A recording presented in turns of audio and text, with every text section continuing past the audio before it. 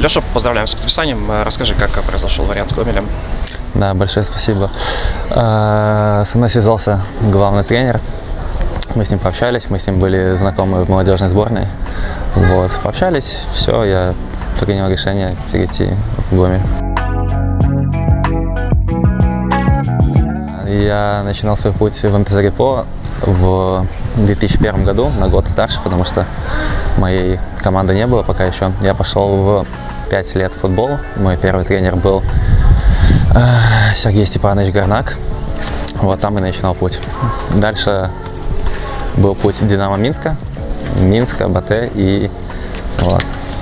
Я отказался в Динамо Бресте потом, в профессиональной команде. Свой первый контракт подписал. Брестский Рух был молодая команда, меня отправили в аренду. Вот. Как мне показалось, я там бы больше получал игровой практики, потому что все-таки Брестская Динамо, она более статная команда была, там были такие футболисты с хорошими именами, и там, думаю, попасть в состав было намного тяжелее, чем в Рухе.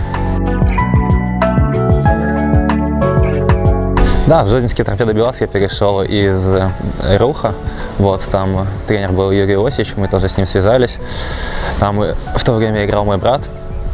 У него только хорошее было мнение об этом клубе, он мне посоветовал туда перейти. И вот так я и оказался в торпедо Белазе.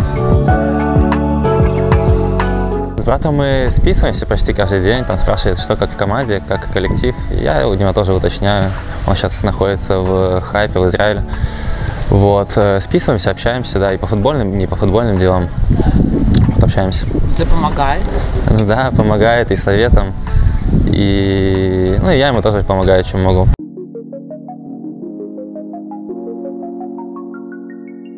Я оказался в аренде в Мозырской славе, со мной тоже связался там Иван Сергеевич Биончик.